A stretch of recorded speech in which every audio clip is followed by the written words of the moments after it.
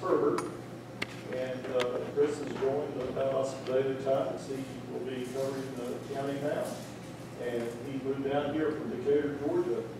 Uh, He uh, holds a graduate degree from UGA.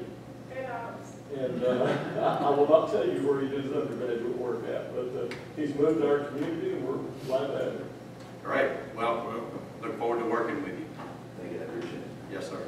Like we told the others, just tell the truth, the whole